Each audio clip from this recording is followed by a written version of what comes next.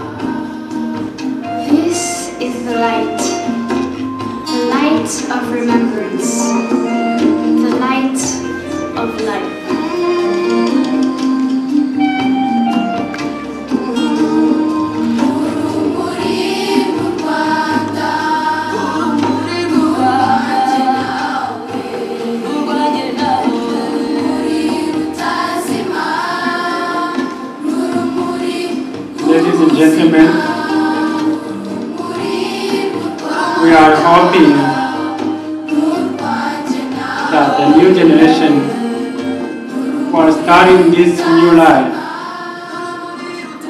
a new life of forgiveness, the life of resilience, We carry on this light so that there will be never any genocide in Rwanda or elsewhere in the country. So we were hoping by passing this light, this new generation will carry on and build a better future. Thank you so much.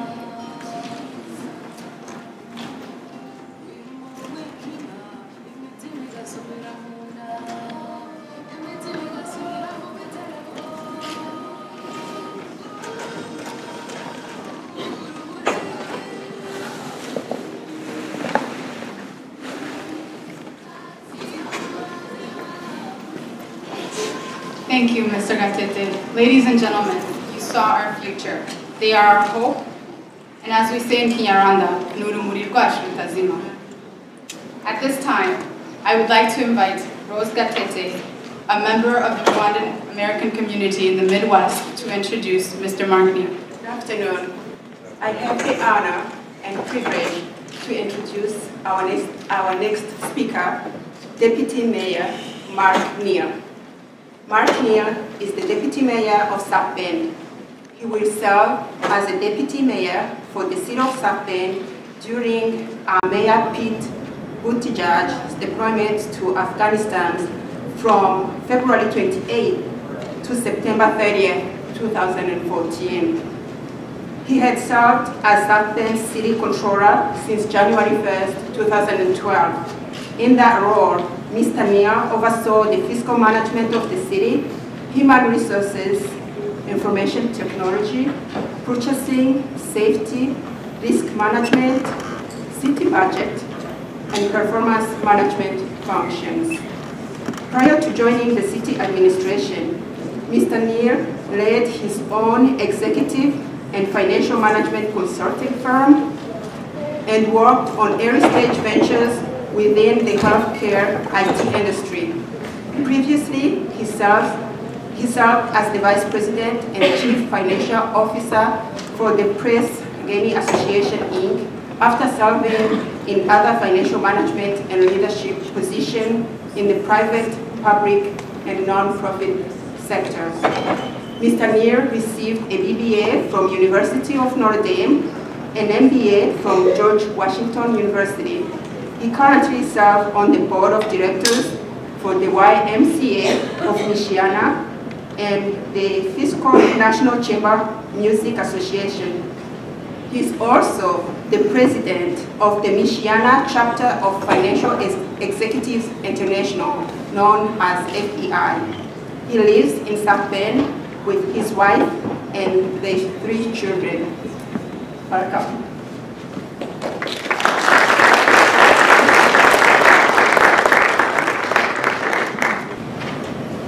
Rose, thank you very much. Um, It is a, uh, it is an honor to to be here with you this afternoon.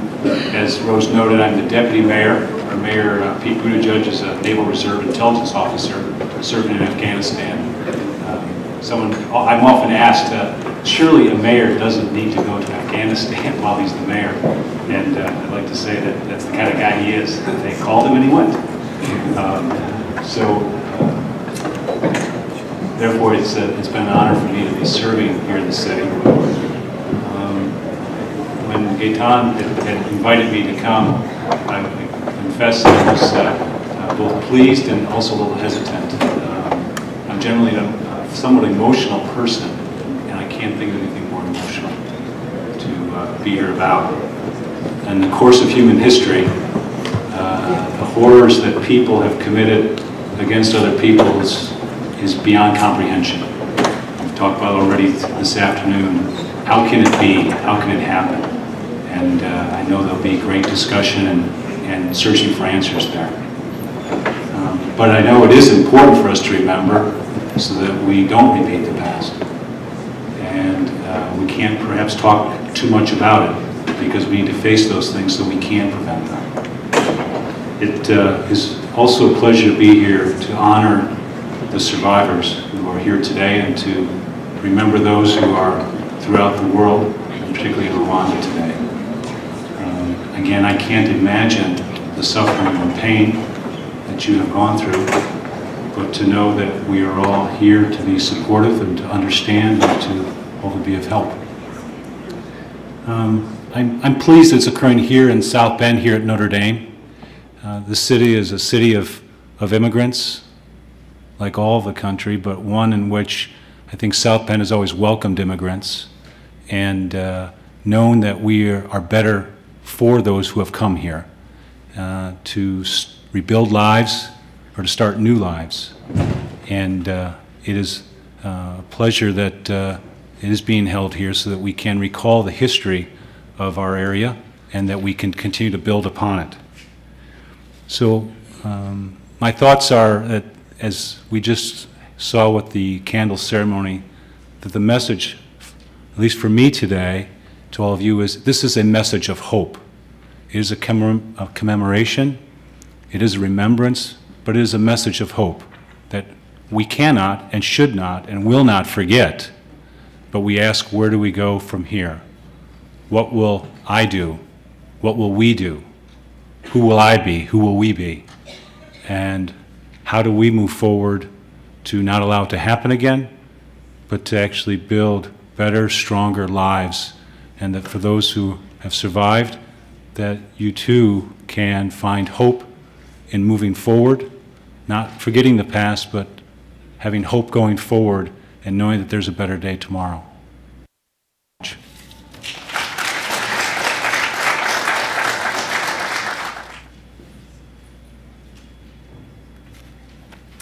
Thank you, Mr. Neal, for your kind words.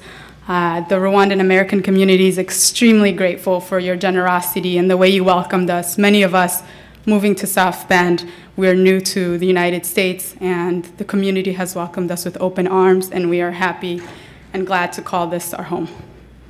I would now like to welcome Chapter X Choir to come to the stage. They will be singing a song titled Noah for us.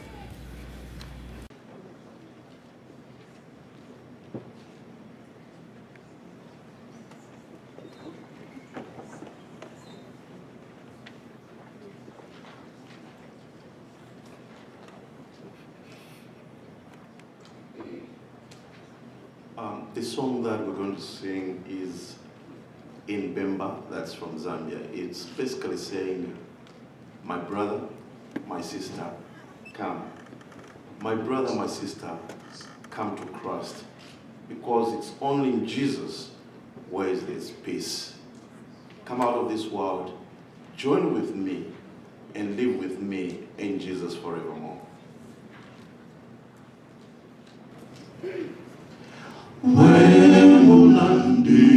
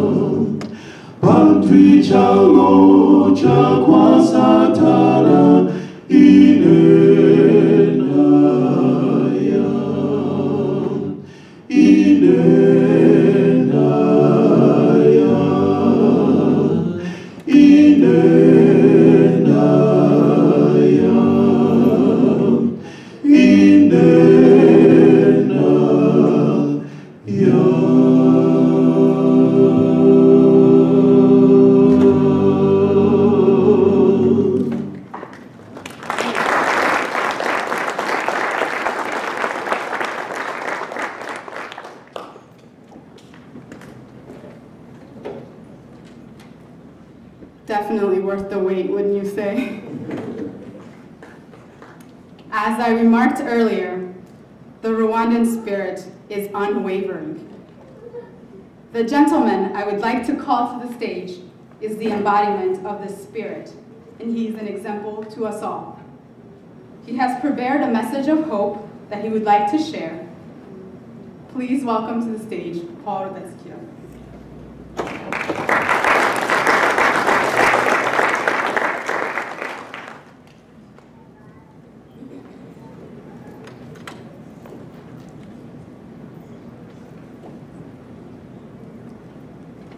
when the genocide was over, the spectators, bystanders, commentators, reporters, and even the experts, they said it's over. It's over.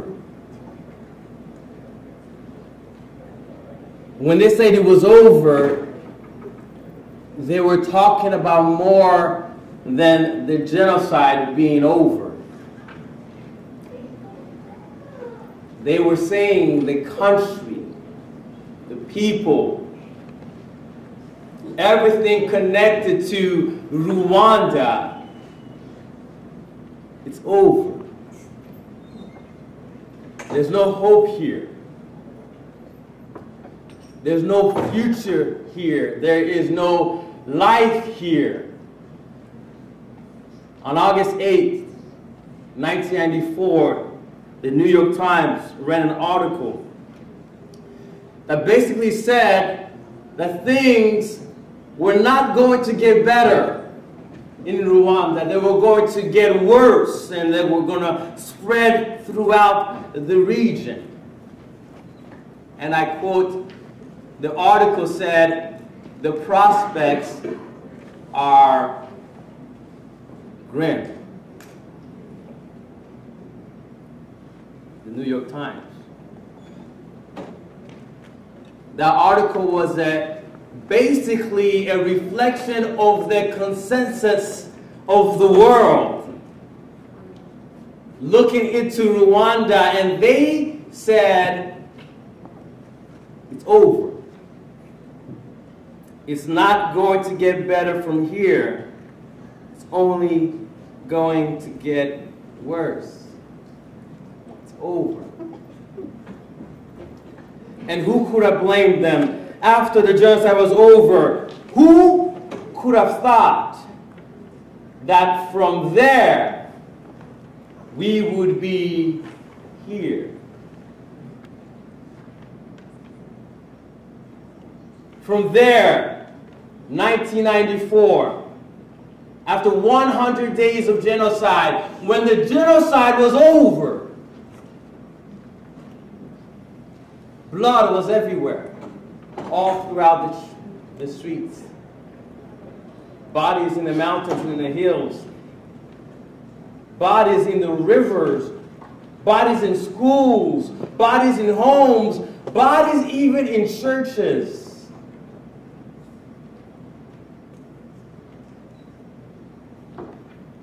Who could have thought that from there we would be here? All the experts said it's over.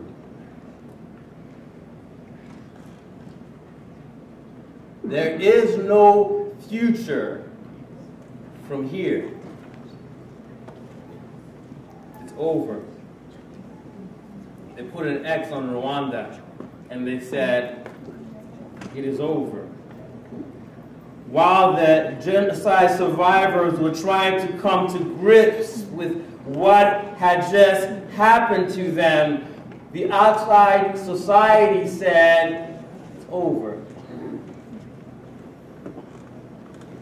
It's like a detective coming to the scene of the crime and the survivor still being alive and fighting for her life and the detective putting a blanket over the survivor and saying, it's over. She's dead. She is finished. There is no future from here. They put an X on Rwanda and they said, it is over. It's over. And they would have been right if they had not taken into consideration one thing. And that is that one X factor that has taken Rwanda from hopelessness to hope. The one X factor that allowed you to move from a place of hopelessness to hope. I'm talking about faith. Faith. Faith. The ultimate X factor that can change any circumstance. The ultimate X factor that has the ultimate outcome. Faith changes not what happened in the past, but it changes you from the inside. It changes how you see your past in order to have strength to move into the future. Faith. Faith. Faith.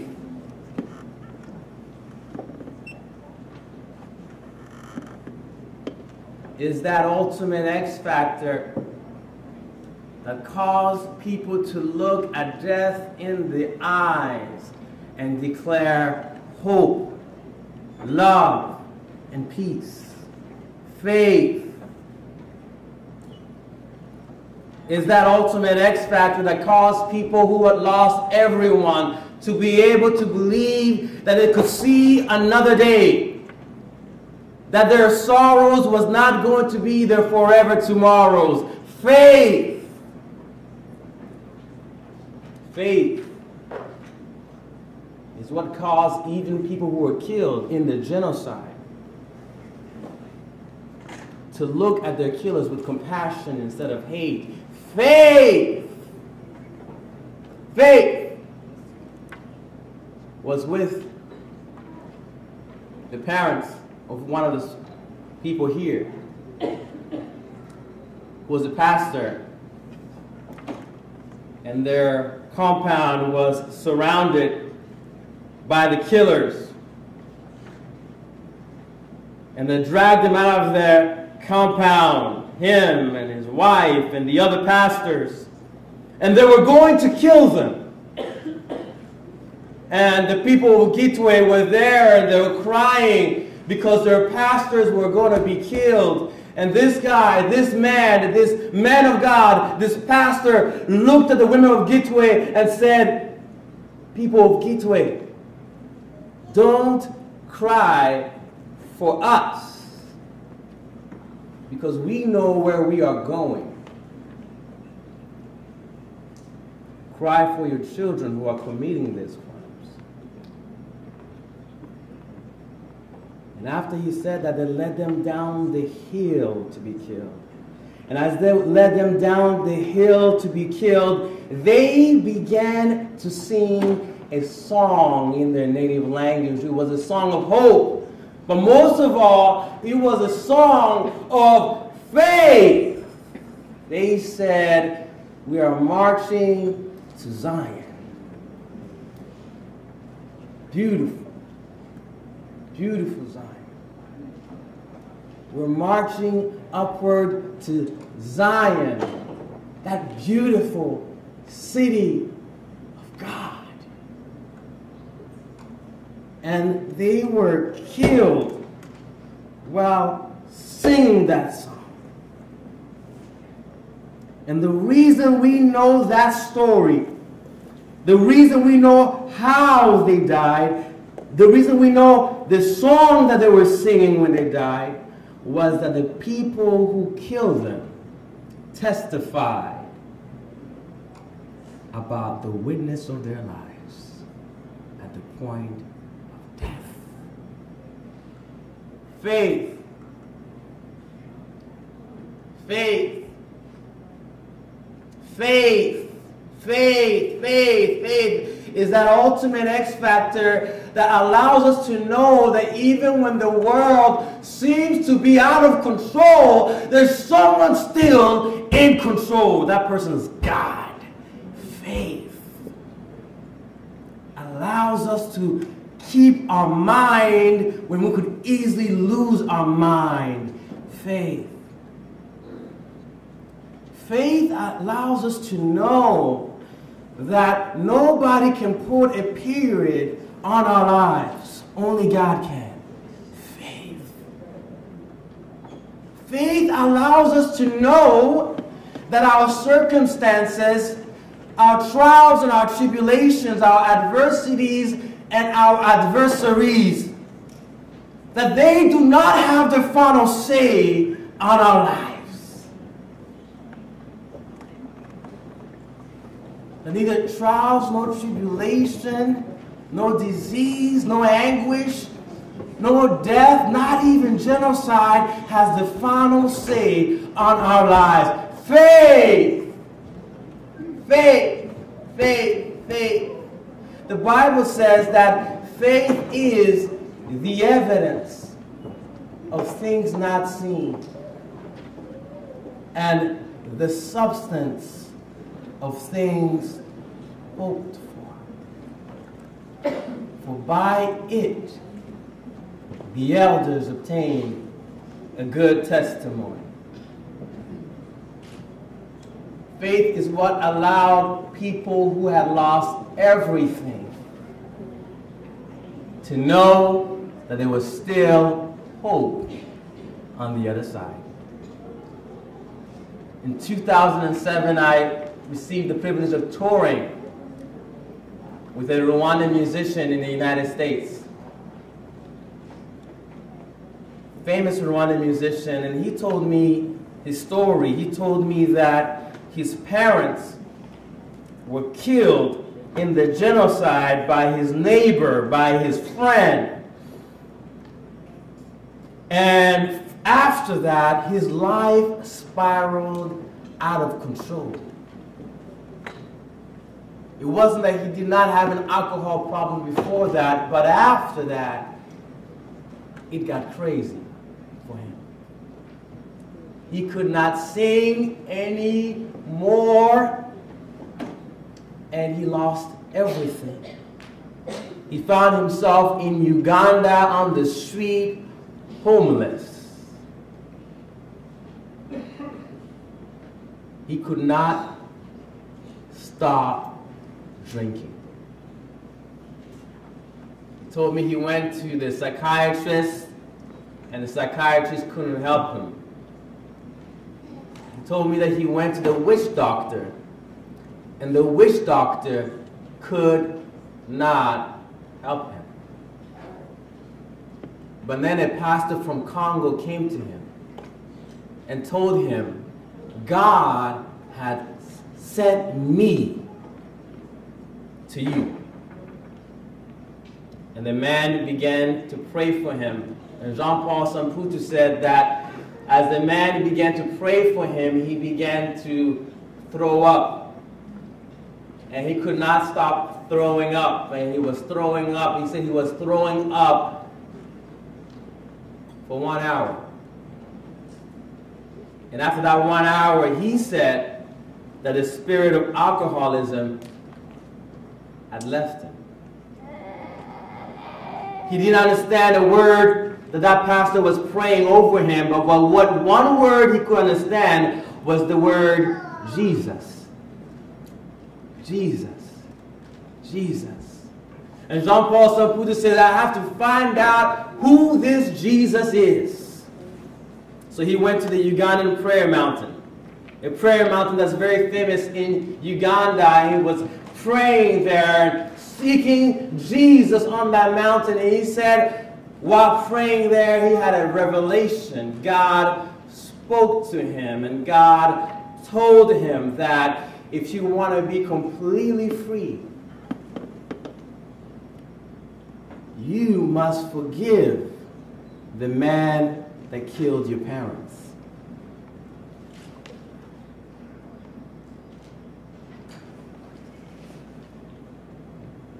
That was hard for him to accept. He resisted, he struggled with that, but he eventually accepted it, went back to Rwanda, went to the Gacaca court, looked that man in the eye and the people in his rural village and said, I forgive this man.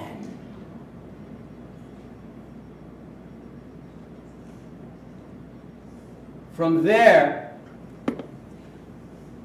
later on, when that man was released from, from prison, Jean-Paul Samputu and that man started to do a speaking tour together in Rwanda, speaking about reconciliation and forgiveness. Reconciliation and forgiveness that was birthed out of faith.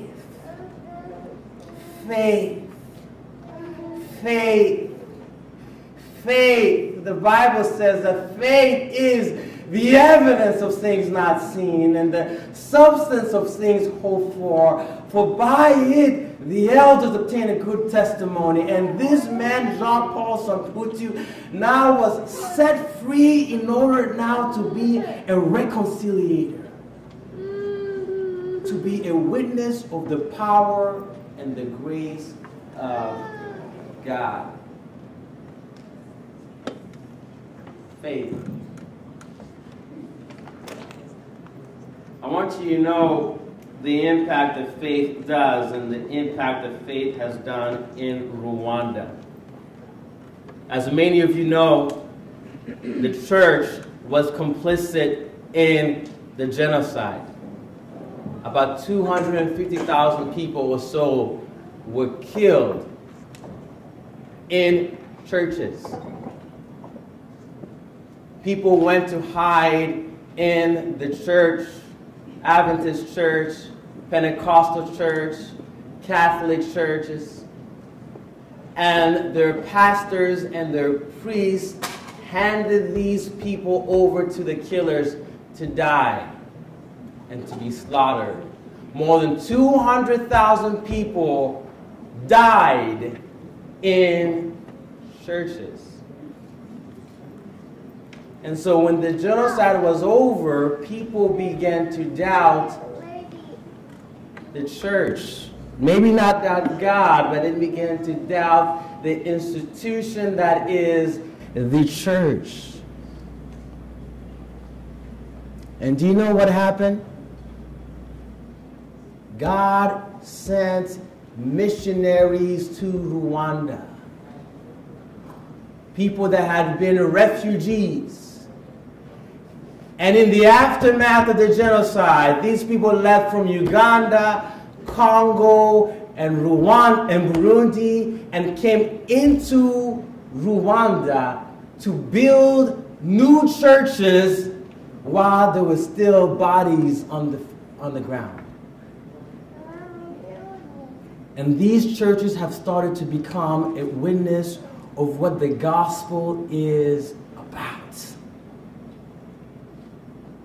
The power of God to change even the worst case scenario and bring hope out of it, bring life out of it, bring truth out of it. And I know that there are people here, all of you here, who are a witness of that, who are a fruit of that, who are a witness that even in the worst case of situations, God can write a new story. Even in the worst case situation, God can bring what other people thought was over and write a new story, a new chapter, a chapter of hope, faith, and love.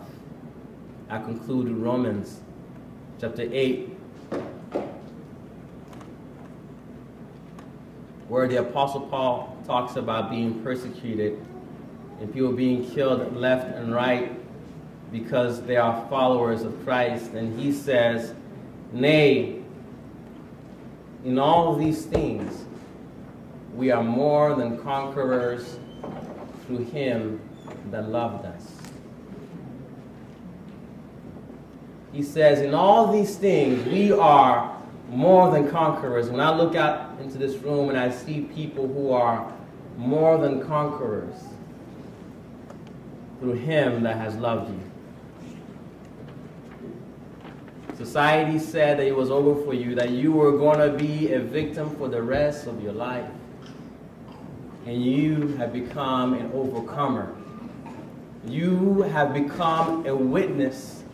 You have become a testament to the power, the grace, and the majesty of the Almighty God that is with you. We are more than conquerors. Our past is not our destiny. Our sorrows are not our forever tomorrows. Because God is with us, we shall overcome.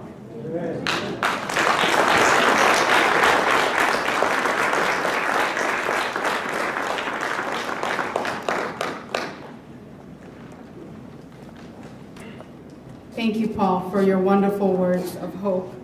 As you said, faith is our X factor. We are here, and we will continue to have indomitable faith to continue on. Ladies and gentlemen, earlier you might remember that I asked two questions. Where were you, or what were you doing 20 years ago this April, and what do you remember about it? And two, what does the theme Remember, Unite, Renew mean to you? I've had some ushers passing around cards. I will read a few that I've gotten in. 20 years ago, at this time, I was with my entire country trying to hide ourselves. My father and brother were still alive with us until a few days later. 20 years ago, I was at Southwestern Michigan College working with US students from Rwanda who had just gotten word that their families were slaughtered. I was working to keep these students safe.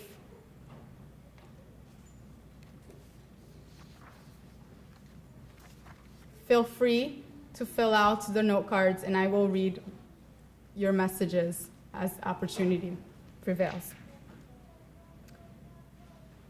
Ladies and gentlemen, 20 years ago, many Rwandans in this room lost their families, including their children, their parents, their siblings, their aunts, uncles, friends, relatives, and coworkers. They seldom find words to describe what this loss and this void has left.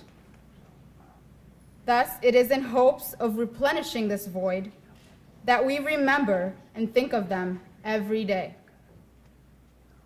Who they would be, how many children they would have, what occupations they would hold, and what memories we would share.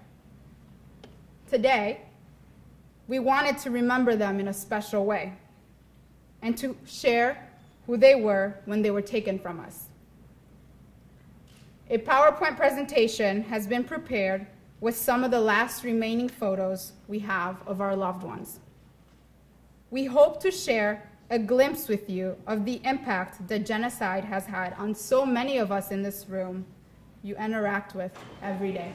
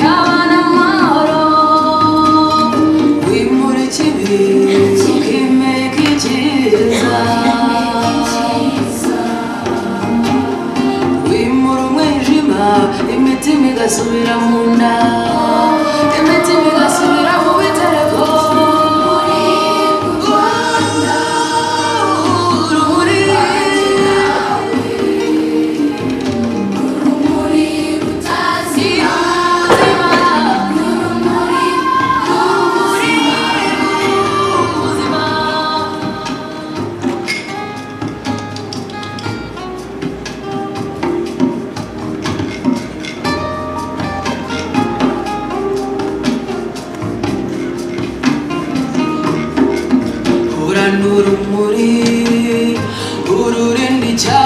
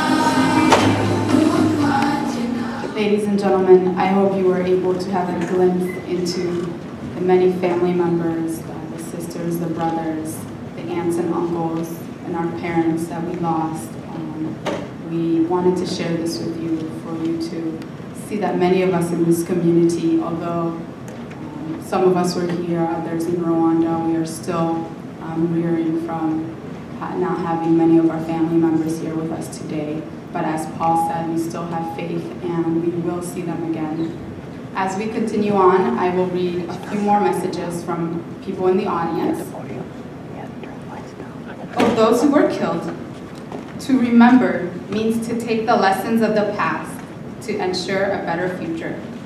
To unite means everyone, worldwide, joining Rwandans to build a better future. To renew means to reestablish which was.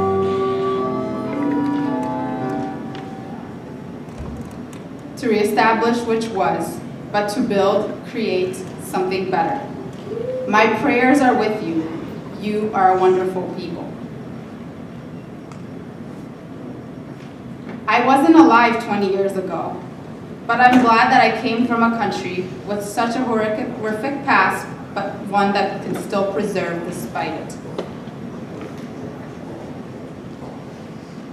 20 years ago, I was hiding while pregnant.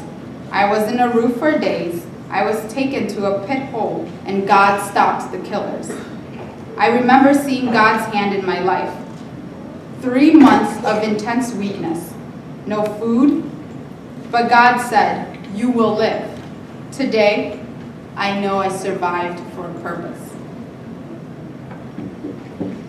During the genocide, I was in my country, Rwanda.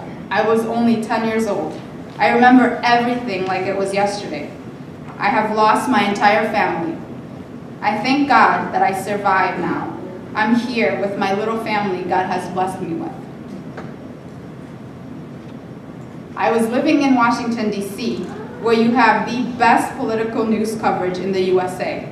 And not, no one there was, no one there really knew what was happening in Rwanda.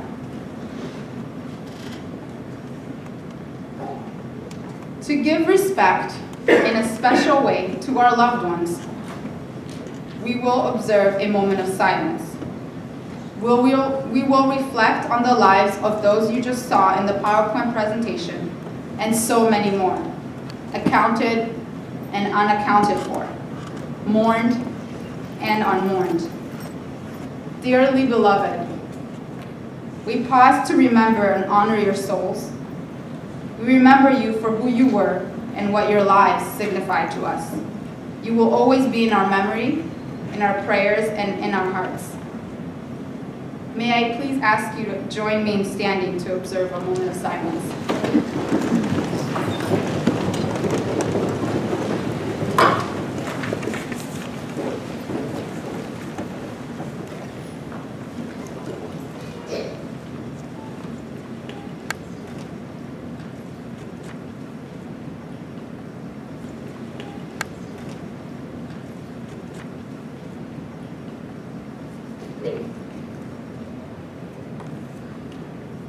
Thank you. You may now be seated.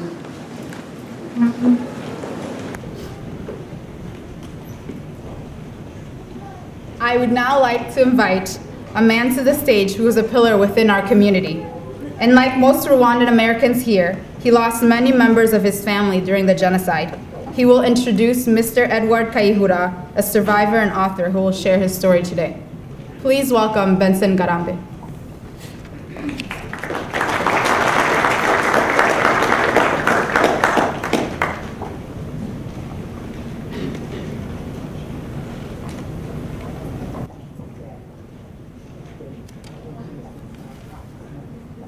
Ladies and gentlemen, Rwandese who are here, distinguished visitors, and those sympathizers who came to share with us this commemoration of 20th day years that uh, the genocide uh, surfaced in uh, our small country, Rwanda.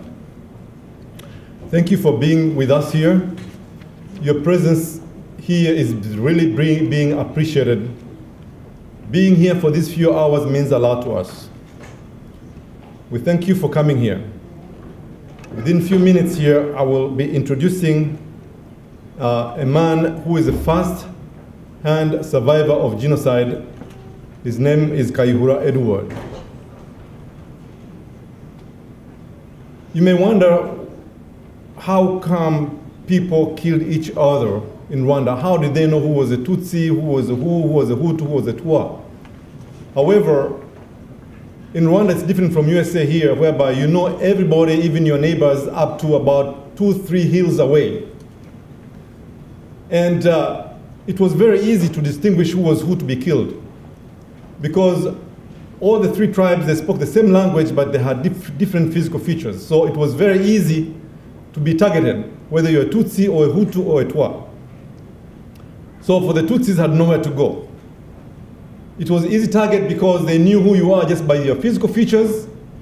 If you're tall and you had a small nose, long nose, long face, no segments, you are a target, you are dead. If they could confuse about you, they will ask you what you had in your pocket called identity card. Everybody was supposed to bear identity cards. And in those identity cards, there was a name, Hutu, Twa, and Tutsi. If your name is not, you are a Tutsi, you are obliged to die. So it was easy that way. For those who had done intermarriage and they could not be distinguished, they had to ask you your card.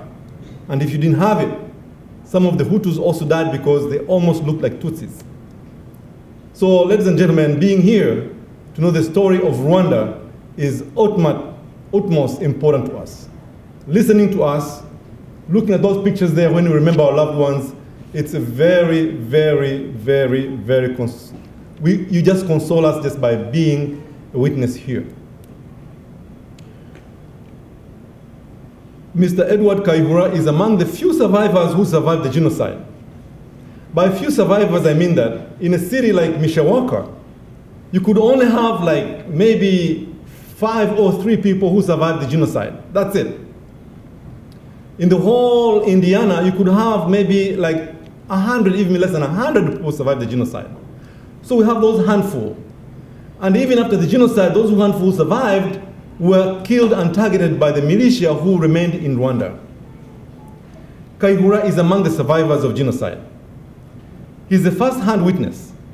He comes from a city called Gitesi, district of Kibuye, where I also come from. It's a place whereby we have a lot, we had a lot of Tutsis in that uh, district. But it's marked as one of the brutal districts that had suffered the genocide of Rwandans. He luckily survived, as any genocide survivor in here can tell their own horrific story. He luckily survived because he was in a hotel, um, Collines. All of you know about this hotel, uh, Hotel Rwanda movie. That's where he managed to survive. That's where he was hiding. He will tell you into details about that. Um, he managed to grow up and became uh, a former Rwanda prosecutor in charge of the prosecutions of genocide crimes and crimes against humanity in Kigali, Rwanda. He holds a graduate degree in a law and a master's degree in criminal justice. And he is the author of Inside the Hotel Rwanda, the surprising true story. For those who have seen Hotel Rwanda, that was a little brush off. I may give it one out of 10. I may even give it about a four or a three. True story was not revealed in details. It's a good movie to watch, but if you read his book, it will tell you in details about the surprising true story about the Mille Collines, Hotel Rwanda, I mean. And it also, if you can go to his uh, website, www.insidethehotelrwanda.com, he'll also elaborate to you exactly what surfaced in Rwanda. Kayihura will also participate in the panel discussion here uh, to, describe, to discuss rape as a weapon of genocide. Ladies and gentlemen, the genocide in Rwanda was carried in different ways. Everybody here, me, Gatete, Gaitan, Bayangana, so many, of Tom, will tell you how each of our parents died in a horrific, different ways. There was more than 500 ways each of them died. Some were hung, some were just put in mass grave when they were still alive, some were pulled by the cars, some were stabbed, killed by the guns if they paid money. So there was different thousands ways that these atrocities happened. Ladies and gentlemen, I won't waste your time. I'll welcome the first-hand genocide survivor, Kayihura Edward, on the podium. Thank you.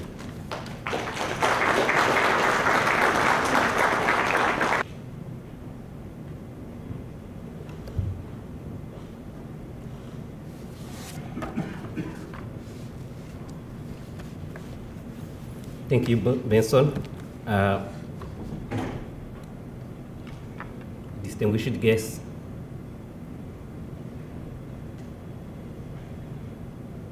let me start by greeting the organizers of this 20th commemoration of the genocide against Tutsi and expressing my gratitude to be here to share my personal experience.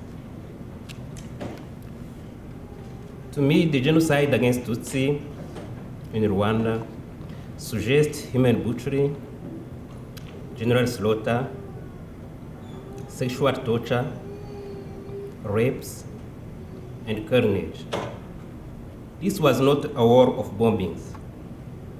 Instead, the genocide was planned and executed by the Rwandan government against its own people. The killers relied on machetes, spears, clubs, handguns, rifles, and other low tech weaponry to carry out these executions at close range. As they said, I was born and raised in Karongi, in the west province of Rwanda. I grew up in a family of seven children, three sisters, and four brothers. It was never a time in my life when ethnicity was not a dominant part of my existence or the existence of any Rwandan of my generation. All Rwandan were mandated to carry a national ID card with them all the times. The most important piece of data on the card consists of three words, Hutu, Tutsi, or Twa. Two of the three words were crossed out. The one word remaining define your total experience in Rwanda. Much like a caste system, though, during my lifetime, far more evil, this I had no choice but to accept. When I was young, a culture of stra- strategic disenfranchisement and demonization was entrenched among our nation's leaders. As a child in school, we Tutsi were asked to stand up separately while the Hutu sitting down, or Hutu were asked to stand up while Tutsi were told to stay down. While this did not cause any physical harm, it followed the classic pattern of how the genocide breed, us versus them. In my native Rwanda, I was a them. I witnessed true violence against my family for the first time at the age of eight. It was in 1973, and I was in third grade. We had early release from school. Our teachers didn't tell us why we had to leave early. When we get home, all Hutu families, all Tutsi families were gathered together to protect their homes. Women and children were asked to go to hide in the bushes. We spent one week in the forest. When we came back, our homes were burned, our cows, everything we owned were taken away. We spent time in shelter until a new house was built. Around the same time, my oldest brother was in third high school. He was succeed in surviving, but eventually was expelled from school and was not given a chance to go back. In the 90s, Rwanda was rife of violence and hatred on many faces. Tutsi were afraid to mingle, to even meet with one another and talk. More than two people were not allowed to stand together in public place. Militia were trained, weapons were disputed, machetes were imported, and hate media were created. Tutsi were no longer human. We were labeled as cockroaches. I lived this, listening to these voices of hatred every day until those voices rose up as loudly as possible to mark the beginning of the mass killing, the genocide of 100 days. After work on April 6, 1994, I found myself in a cafe in Kigali watching an African Cup of Nations played on a television set. When I decided to go home before the game was over, it was close to 9.30 p.m. As I walked to my home, the air was filled with radio broadcast. The nation had gone collectively insane. I heard voices that spoke unspeakable things. Savagery was all I could hear. By the grace of God, I managed to make it to my home and bolted myself inside. I walked around my house looking for evidence, evidence against me. My existence was now a crime. Street justice was now dealing with my crime of simply being and born and known to others as a Tutsi. Militia were trained and heavily armed suddenly ruled a nation. If I found any news criticizing the government anywhere in my house, I destroyed them, tearing them into little pieces and putting them in the toilet. I was sure the Hutu would come to kill me. I lay down on my bed, but I slept not a wink. At daybreak, I stood in my living room, looking out of my window, and I saw a coworker of mine walking up the street. He was a radical Hutu who hated Tutsi. He shouted, Wake up, wake up. There are cockroaches in our neighborhood, and we must find them. I did not take his threat lightly, as I knew he was active in extremist groups, most of which were now armed. I ducked out of, I ducked out of my home and hid. Sleeping between houses and through people's yards, I headed toward a friend of mine who happened to be Hutu. His name is Pascal Itimana. Soon after I had left my house, the militia came to kill me. When they realized I was not inside, they destroyed my house and shared all my belongings. They searched my neighbors, but they could not find me. In Pascal's bedroom, there was a tiny space large enough for me to get in and get out, yet not enough to be noticed without moving a large dresser. If I heard something, I was too quickly run to Pascal's room and get behind a dresser. I spent four days in his house.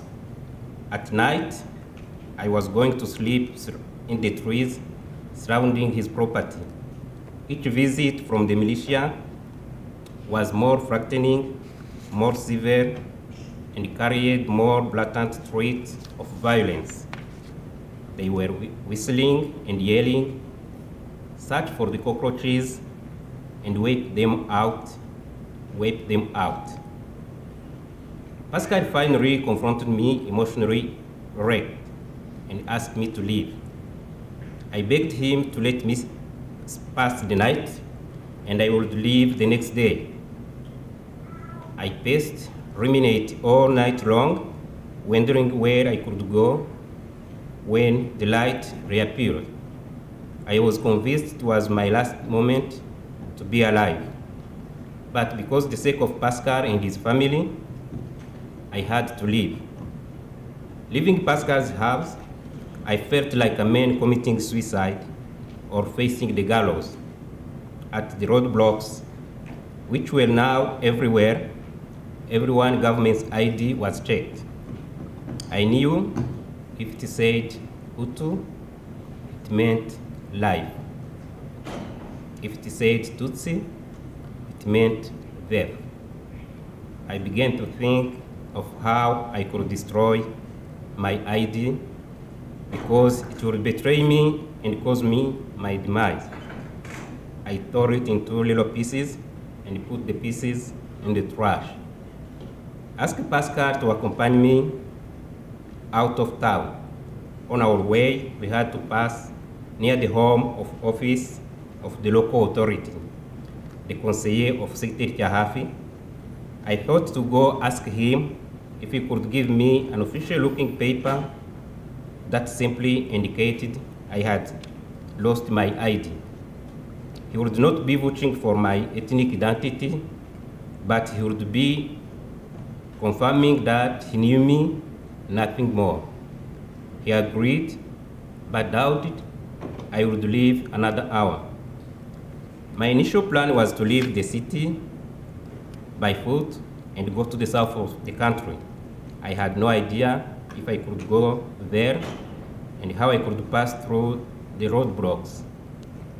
Meanwhile, radio broadcasts were broadcasting that there were cockroaches hidden in the Hotel Mille Collines. I tried to convince Pascal to accompany me to the hotel. Naturally, he was reticent, but eventually he agreed. We had to pass three military roadblocks. At the first one, I was asked to lay down. A soldier was ready, ready to shoot me. Pascal said, please don't kill him, he is ours, meaning I was a Hutu. Finally, we arrived to the ground of the hotel where UN peacekeepers stayed. This was the hotel that was made famous by the movie Hotel Rwanda. I am sure many of you have seen that Hollywood movie. Speaking officially for the nearly 1,200 survivors of the Hotel Mille Collines, we are grateful that any movie was made about our plight. Unfortunately, most of us are less than pleased with how this particular movie was scripted. Our tales are quite different from what you saw on the movie screen, but our stories are all true. On April 16, Paul Rusesabagina, the, the hero of the movie Hotel Rwanda, came. He was the manager of the Hotel des Diplomates. The diplomat had hosted the official, officials and senior military leaders the new government that was carrying out the genocide. It was where the exact plans of the genocide were laid out. The new government was obliged to leave the capital because the Rwanda, because Rwanda Patriotic Front was shelling bombs on the hotel, dislodging their host Paul Rusesabagina as well. All those, those departing the diplomat had to pass by the Hotel Mille Collines, which was one mile away. When Paul arrived and assessed the situation, he tried to take over the management. The front desk employees refused to give him the keys. Paul contacted the corporate office in Europe and they sent him a fax authorizing the employees to hand him the keys. The first meeting Paul had with the employees was to make sure all refugees paid before they get food. This despite the fact that most of them they had no money. A cashier was set up in the restaurant. Before you get food, you had to pay. Only those who had money could go to the hotel restaurant and get food. The rest were left to starve. Even though we were in the most luxury hotel in Rwanda, we did not feel it. We felt hopeless and helpless. Soon after, Sesabagina also began charging the refugee for the rooms. If you don't pay, you were removed from your room. I was called personally in his office and I signed him a check. My roommate paid him cash. We were, we were using phone call to call international organization for rescue. Paul cut the phone service except one which was in his office. We ran out of water and began drinking the swimming pool water until it was drained. Electricity was cut and we were afraid that any point we would be overrun and killed in the darkness. The leaders of the genocide, Colonel Bagosora, General Bizimungu, Ramira Frodouard, George Rutaganda, Robert Kajuga, were coming to the hotel from time to time, usually spending their evening drinking with the hotel manager. As the day stretched on, we were waiting for the day when the military would turn the, their guns on the hotel and shell it. Bombs hit the hotel three times, but no one were hit, were wounded. The militia tried to storm the hotel, but they were returned by the UN peacekeepers. When the Rwanda Patriotic Front took control of the Kanombe military camp, it was a big loss for the genocidal government. 800 soldiers and their families surrendered to the General Romeo Dallaire. Romeo, General Romeo Dallaire handed them to the Red Cross, and the Red Cross handed them to Rwanda Patriotic Front. The capture of these surrendered militaries and their families, along with some Hutu refugees who were in other area controlled by the, the Rwanda Patriotic Front, forced the government, the genocidal government, to agree to protect the refugees who were in the Hotel Mille Collines in order to exchange us with their people.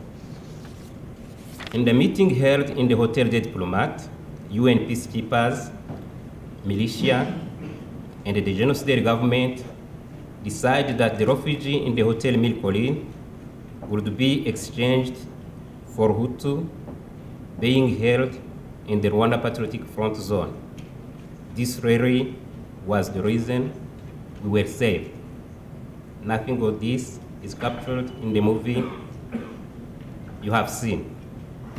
At the end of May, Bernard Kouchner, the founder of Doctors Without Border,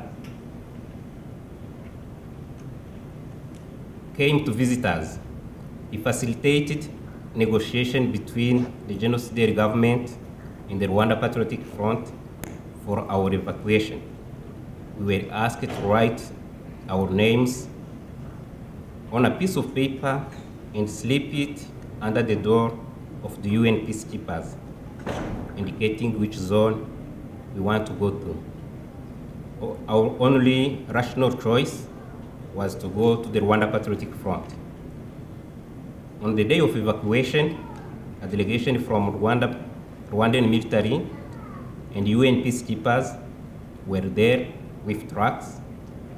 Before we go onto the, a truck, Paul Rusesabagina checked to make sure no one take any hotel towers.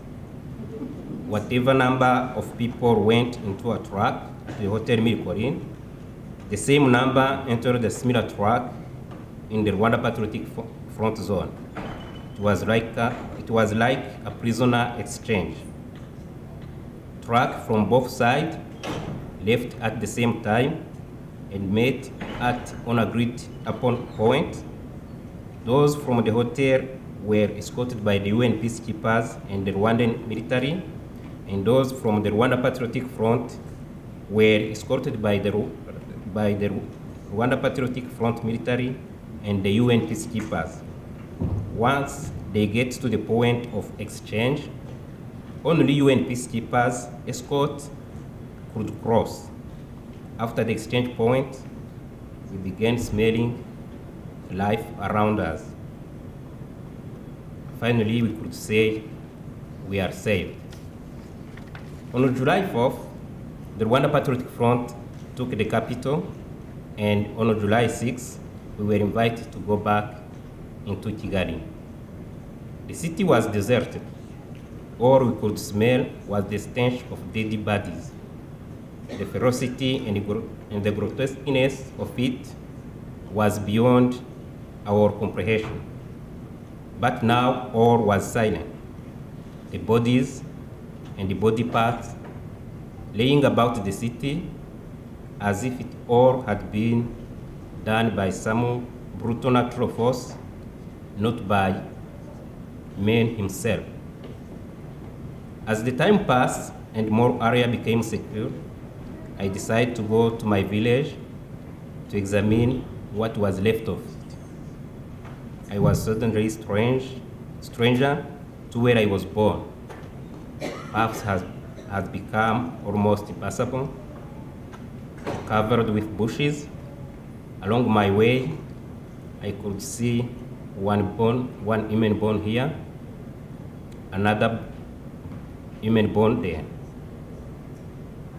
But no one was left to tell me their tale. The entire village was eliminated. The ethnic Tutsi were eradicated, er-, eradicated there. When I remember them, I ask myself why God had left, let me to stay alive alone. It was not only survivor's guilty I felt, but the feeling one has when he or she pins for the loss of a loved one. But those few of us who survived the genocide wait for the loneliness that came from losing dozens upon dozens of people who had played a role in our lives. We lost parents, siblings, teachers, priests, doctors, neighbors, friends. We had grown used to see, to seeing every day of our lives, all gone now, all gone, all at once. It is a strange feeling, the feeling of being in a familiar place, yet everything that had, had once been familiar had vanished, never to return again. What our reason for living? For surely there was a reason to tell the tale perhaps. There wasn't enough tears. Ten years later, I was shocked to discover a Hollywood film was made about my very adventure. I was elated by confused.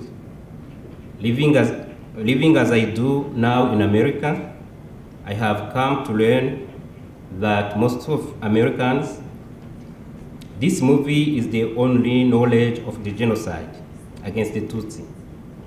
Perhaps had it not been made, most of them would, would not have no idea of what we went through 20 years ago. But outside informing the West of the genocide, I found the movie completely inaccurate.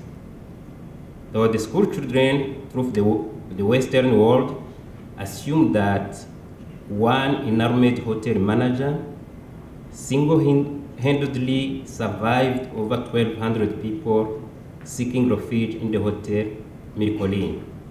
Nothing could be further from the truth. We were saved because of the international intervention from diplomats. We survived because refugees were protected by the UN peacekeepers. We lived because the genocidaire wanted to disprove there was genocide at all by displaying us to the Westerners.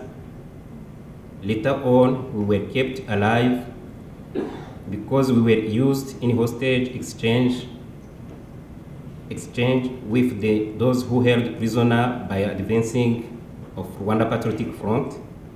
And finally, we escaped unharmed because the Rwanda Patriotic Front took Kigali and freed others. 20 years of, after the genocide, we are remembering our loved one killed because they were born and known to others as Tutsi.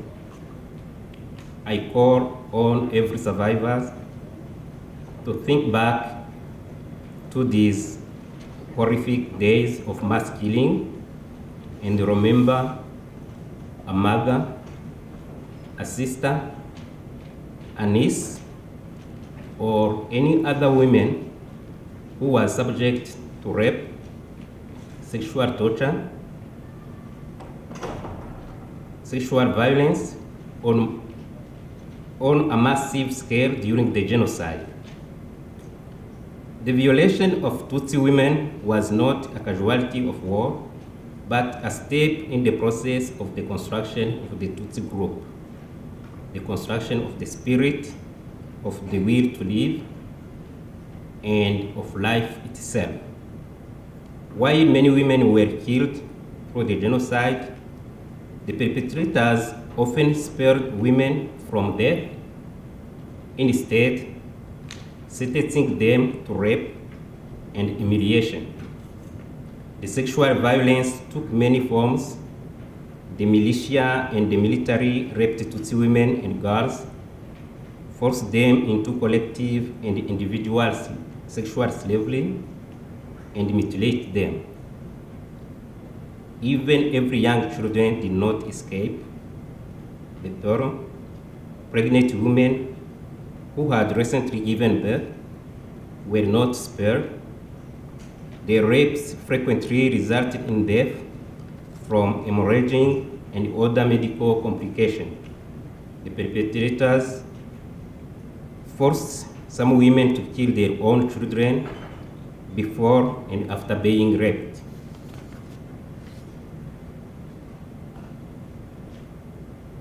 The militia commonly employed sexual mutilation and public humiliation to heighten the suffering of their victims. Some women and girls were stripped and slashed and exposed to public mockery. Some women were held for the duration of the genocide. They lacked these women their home, while some terminated arrangement, forced marriage, and called the women wives. In reality, these women were captives of sexual slavery. The trauma experienced by these women did not end when their torture finally ceased. The physical, psychological, and the social impact is something they will live with the rest of their lives. 20 years after the, 20 years after the genocide against the Tutsi, is there hope? Rwanda has made significant progress in promoting gender equality and combat, combating gender-based violence. Rwanda is only one country in the world where over half of its elected members of parliament are, are women. Women have the same rights to inherit land as men. However, the victim of rape and other gender-based violation carry severe social stigma. The physical and, and psychological injuries they suffered are aggravated by the sense of isolation sense of isolation. Women who have been raped or who suffered sexual abuse generally don't dare reveal their experience publicly, fearing they will be rejected by their family and the community. Often, rape survivors suffer extreme guilt for having survived and been held for rape rather than having been executed. The horror of the genocide against Tutsi is unique, but the lesson we learn from it are absolutely, absolutely applicable rights across our society.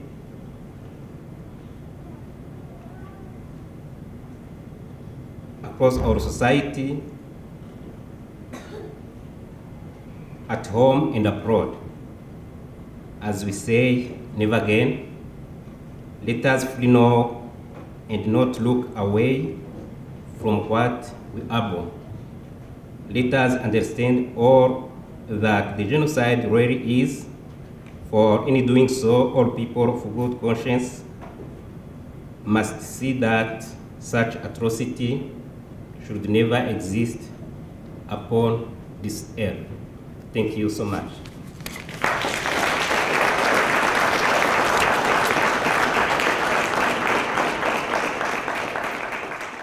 Thank you, Mr. Kayihura. Your survivor testimony um, has been able to show us that there isn't always a single story, and it is always important to remember that.